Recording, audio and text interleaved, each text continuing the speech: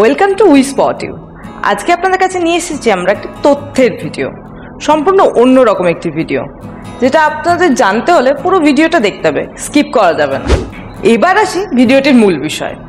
ভিডিওটির মূল বিষয়ে যিনি আছেন, তিনি হলেন আমাদের সবার পরিচিত শুভশ্রী গাঙ্গুলি।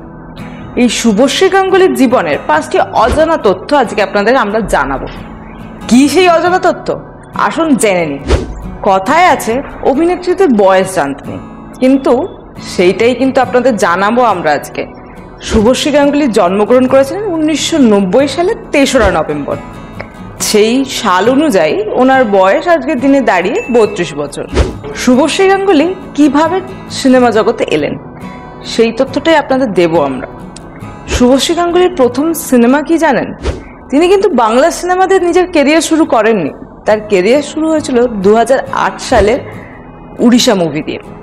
উড়িষ্যার এই মুভিটি ছিল কমেডিয়ান মুভি দু সালেই তিনি বাংলা ফিল্ম ইন্ডাস্ট্রিতেও ডেবিউ করেছেন পিতৃভূমি ছবির মাধ্যমে। সেখানে একটি পার্শ্ব চরিত্রে তাকে অভিনয় করতে দেখা যায়।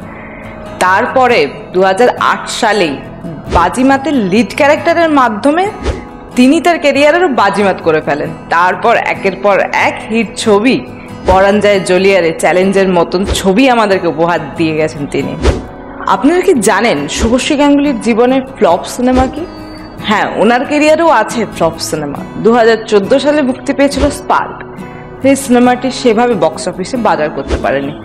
ওনার কেরিয়ার গ্রাফে এটি একমাত্র ফ্লপ সিনেমা আপনারা কি জানেন উনি দু হাজার ছয় সালে আনন্দলোক নায়িকার খোঁজে অনুষ্ঠানটি বিজেতা ছিলেন? আপনারা কি জানেন হাবজি গাবজি ছবির শুটিং করার সময়ই শুভশ্রী গাঙ্গুলি ছিলেন অন্তঃসত্ত্বা? তার মধ্যে তখন বেড়ে উঠছিল ইউয়ান এই তথ্যটি দিয়েছেন ওনার দিদি দেবশ্রী গাঙ্গুলি। এই ছবির শুটিং শেষ করে বাড়ি ফিরে এসেই তিনি জানতে পারেন এই সুখবর। তাই এই সিনেমাটি ওনার কাছে খুবই স্পেশাল, এটাও তিনি জানিয়েছেন। এই ভিডিওটি যদি আপনাদের ভালো লেগে থাকে, অবশ্যই আমাদের কমেন্ট করে জানাবেন। এর মধ্যে কোন তথ্যটি আপনাদের অজানা ছিল, সেটাও কিন্তু জানাতে ভুলবেন না। এরকম আরও নতুন নতুন আপডেট পেতে ফলো করুন উই স্পট ইউ